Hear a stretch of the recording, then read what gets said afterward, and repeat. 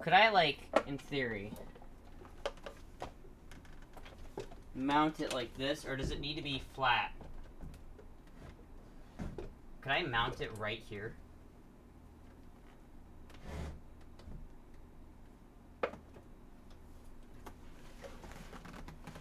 Does it need to be flat, or could I hang this on the wall? Is she doing this on purpose? Okay, I didn't do that one on purpose. I realized what I was doing after I started doing it.